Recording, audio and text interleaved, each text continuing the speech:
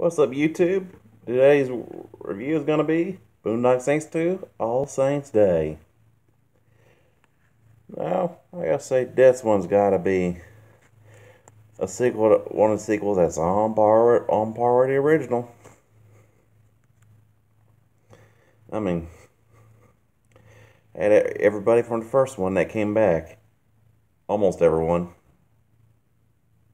Well, in flashback form, like Rocco, of course, and the cat.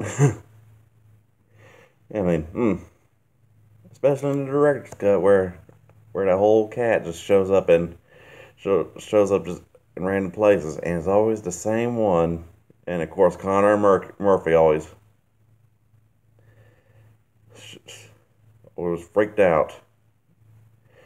You gotta give it to, to the rest of the cast too, like Billy Connolly reprising his role as Il Duce. Though the name Il Duce was never once mentioned in the sequel, but but we do learn his real name was Noah McManus. But we all did did know he was a McManus after the first at the end of the first movie movie when he when they found out he was when he found out he was their dad when when the boys found out they, they he was their dad and of course back to the cat, the first one where you had to, oh, in that scene where Rocco shakes the cat. Hmm, I say, hmm, nine millimeter. Must have took all nine lives at one point, at one time. But back to the second one where you had, of course, with everybody, with all the characters from the first one reprising their roles. Kind of like you had, of course, Sean Patrick Flanery and Norman Reedus reprising their roles as Connor, Mur- Connor Murphy, and Bob Marley and David Ferry and can't remember the other guy's name right now. No, don't take no no disrespect. Reprising their roles as Troy, Greenlee, and Duffy, and of course, and also you got got a bit part with Robert Wells, aka Ricky from Trailer Park Boys, playing Jimmy the Gopher. with with Julie Julie Benz as Agent Eunice Bloom, which I gotta say, excellent, excellent choice because because she actually was able to pull off a more southern accent than, than Tara Reid would have been, and yeah according to Internet Movie Database, it was originally supposed to have been Tara Reid for that role, but but talk about a save edge. No disrespect, Tara Reid, if you're watching this. And of course, of course, it, of course, you gotta have a have a cameo at the end of right at the end of of Willem Dafoe who faked his death to go off to Red to help the boys. And oof. And Clifton Collins as Romeo, who was basically just Mexican Rocco. And and I'll say that's one underrated actor. All and somebody who well, first time I've I, I seen or heard of him was was when he played Cesar Villalpando in Grand Theft Auto San Andreas. And of course, this was also the last movie for Gerard Parks, aka Doc, or or read the movie, they always refer to him as fuck ass. Man, I'm a funny guy for an old guy with Tourette's.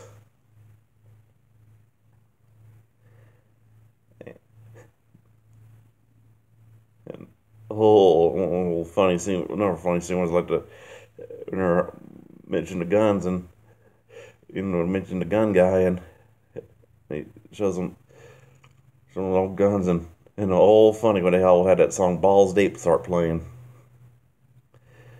Thing, and of course, excellent soundtrack for both of them. Where, but for this one, there's a funny scene where Greenlee's listening to fuck listening to listening to the Night Ranger at the crime scene. You know, yeah, the drug lab. And then I gotta say how a funny reenactment from the, the actual how the, the actual showdown and the whole deal with the whole where's Carl Murphy trying to fight at a little box while Roman's in the forklift, and then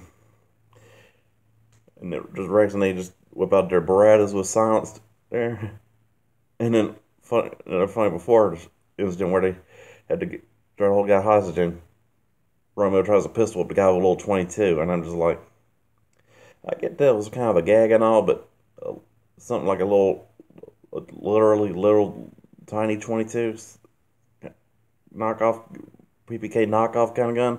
But they could have used like a a revolt gave him gave him the six shooter, kind of like the Yakavetta did when they screwed screwed Rocco over in the first movie. And an excellent deal with Judd Nelson as as Yakavetta in this first movie in the second movie. Although it was kind of weird. Judd Nelson was two year in real life was a couple, about a year or so older than Carlo Rota, who played who played Yakavetta in the first movie.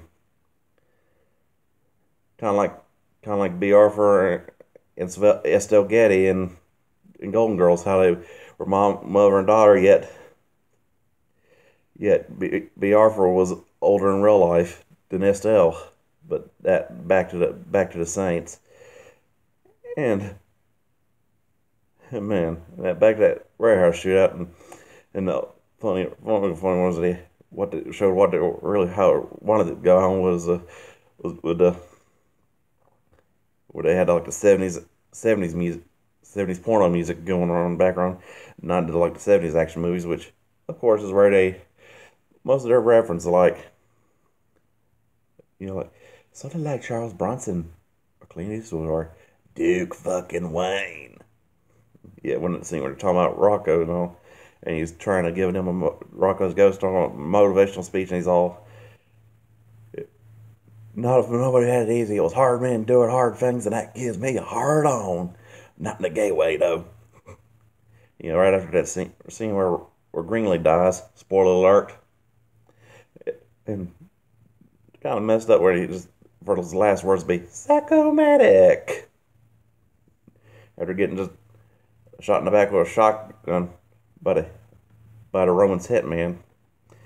And speaking of him, excellent origin between him and Il Duce when it pans to 1958 and when when Il Duce gets the call gets his call like how in the first one the boys get their get become vigilantes after they, they get a vision from from their from from God. You know, kind of like kind of like Boondock Saints is basically Blues Brothers, but if it was an action movie instead of a comedy, in a way. And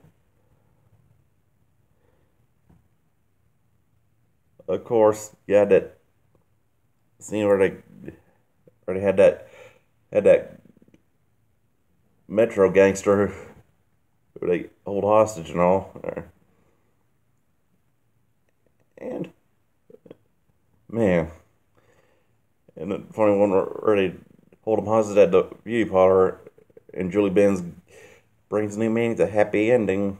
Give it for him. I mean, or he just straps into a to a little little car cart and just writes the names Erin Go Bragh and shit, and just run at the gangster bar and right before they boys signs them with Romeo undercover as a bartender. And mm, he had some, and he had some really lit looking guns in that movie. I mean, I mean, I always as a gun nut, I always liked the 1911s. I mean, as a gun that won two two war, world wars. Back to the movie, okay, but and of course, old epic fight scene where they in the in the boat when they meet when they meet Rock when they meet Romeo, of course, because you know they couldn't fly and all because they had to have hide the arsenal and all. Which I get the movie was taking 10, eight, 10 years between from the first one movie, but the whole buried guns thing when they're not using them. That trope is just kind of always a love hate relationship with it, which goes to the ending where where it ended on a cliffhanger. That's unresolved, and and this critic here hates unresolved cliffhangers. But but given Norman Reedus later on went to do Walking Dead, I see why they hadn't did a third one.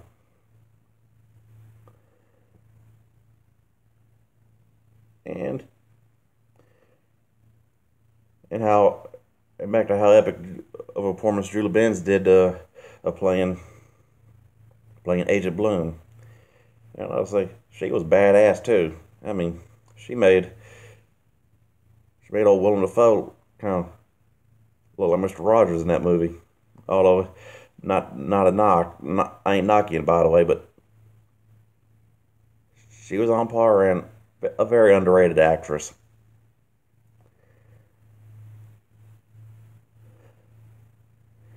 Kind of like when they, there's like the scene when when she joins in on the shootout, you know, dressed in old western gear, you know, good old fashioned shoot 'em up scene when they get get yeah get all the bosses bosses and all, and also a funny performance by of Paul Johansson as Agent Kunstler. Yeah, and before the record, Paul Paul Johansson is not related to Scarlett, by the way.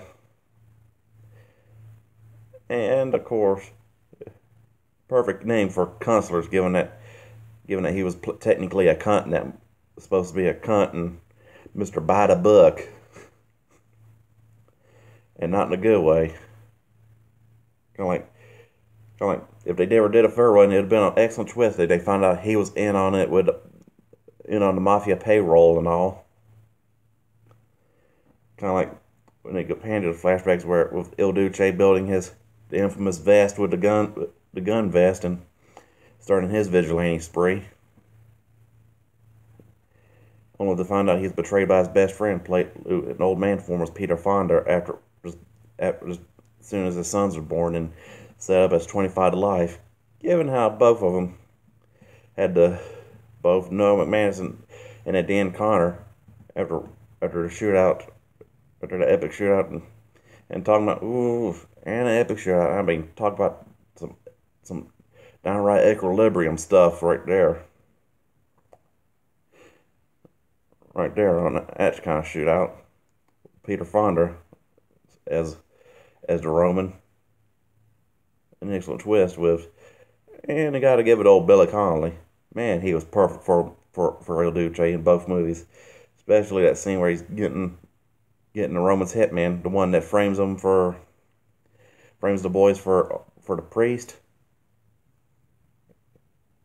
and he just he goes taunts him with a Russian roulette deal of easy boys, daddy's working. Overall, Boondock Saints 2, All Saints Day, gets a gets a five out of five. Enjoy, people.